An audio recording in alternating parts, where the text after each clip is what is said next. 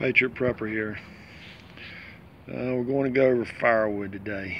If you're buying your firewood, you take a look at the ends of it, you see these little splits, that means that it's probably got a good season on it. You take and hit it against a brick, here it's got that hollow ring to it. That means there's a real low moisture content to it. Also, you can expedite the drying process by greenhousing your firewood. Stack it up, throw you a tarp or a piece of plastic over it, let it drape so you can get a temperature build up in there. That'll help dry your wood out.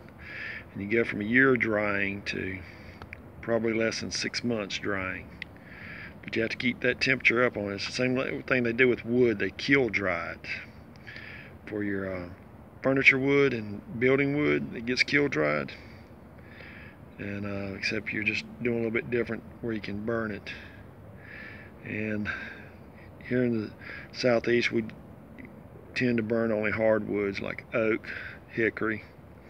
And they're also used for um, cooking as well.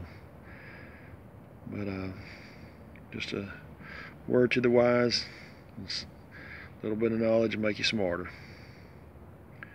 Stay alert, my fellow patriots. Patriot Prepper out.